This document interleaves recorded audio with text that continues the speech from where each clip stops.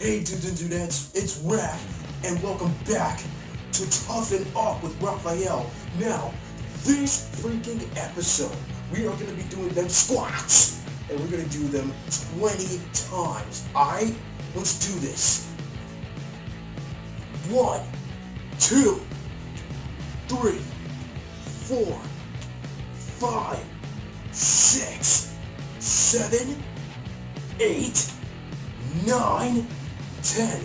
Now we're going to do them the second time, but we're going to do 10 of them as well.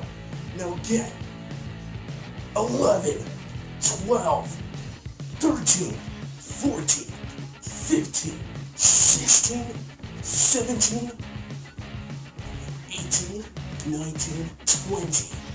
Alright. That's how you do it. Then squats though.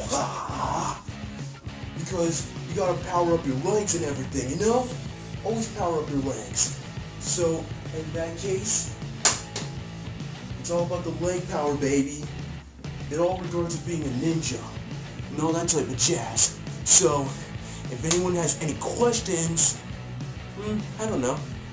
How you do them squats? Well, it's so easy. You just bend your knees. Bend your daggone knees. So, that is one way to toughen them legs up. So, until next time, dudes. Cowabunga!